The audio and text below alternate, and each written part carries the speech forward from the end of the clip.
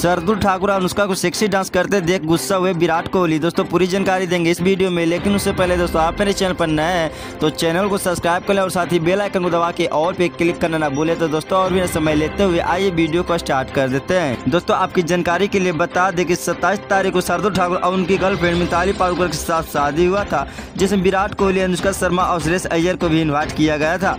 के एल राहुल अक्षर पटेल और हार्दिक पांड्या के बाद अब शार्दुल ठाकुर भी शादी कर चुके हैं। लेकिन शार्दुल ठाकुर के बेंडिंग फैक्शन के दौरान शार्दुल ठाकुर की नई आईपीएल फ्रेंचाइजी के के आर के कप्तान सुरेश अय्यर और टीम के प्रबंधक स्टाफ के एक हिस्से अभिषेक नायर ने उनके साथ मिलकर एक म्यूज़िक प्रस्तुत किया। के के आर के इंस्टाग्राम हैंडल ने सुरेश अय्यर और अभिषेक नैयर का शार्दुल ठाकुर बेंडिंग फैक्शन में गाने गाते हुए एक वीडियो शेयर किया।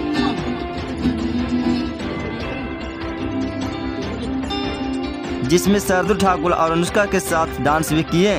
दोस्तों, यह डांस को देखते ही विराट कोहली अनुष्का शर्मा पर काफ़ी ज़्यादा गुस्सा भी हुए हैं। दोस्तों, अनुष्का शर्मा का यह सेक्सी डांस सोशल मीडिया पर काफ़ी बहुत तेज से वायरल हो रहा है। अनुष्का शर्मा अपने ठुमके से कुछ अलग ही महफिल में हंगामा मचाया है। लेकिन दोस्तों, अनुष्का शर्मा और शार्दुल ठाकुर को एक साथ डांस करते हुए देख विराट कोहली काफ़ी ज़्यादा गुस्सा हुए अनुष्का शर्मा पे। दोस्तों, विराट कोहली को गुस्सा करने पर अनुष्का शर्मा वही रोने लगी और गुस्से में बीस शादी को ही छोड़कर वहाँ से चले गए। वैसे दोस्तों, अगर आप भी साधु ठाकुर का शादी वाला वीडियो देखना चाहते हैं तो कमेंट में ज़रूर बताइएगा।